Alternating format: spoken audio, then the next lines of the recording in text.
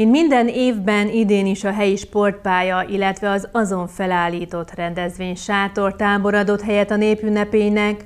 A pénteki nap eseményeiről András Gábor polgármester tájékoztatta szerkesztőségünket.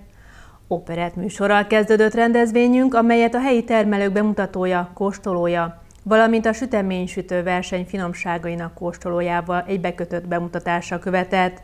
Közben a fotókiállítás is megnyitottuk, amit a településről készült helyi képekből állítottak össze munkatársaim.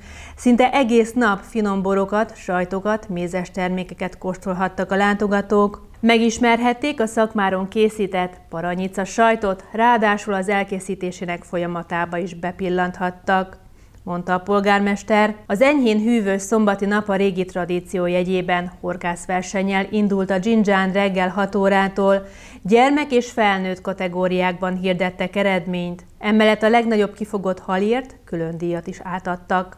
A sportpályán 9 órától indult a kispályás foci, a két pályán zajló mérkőzésekben 8 csapat mérte össze tudását, izgalmas és küzdelmes összecsapásokat láthattunk.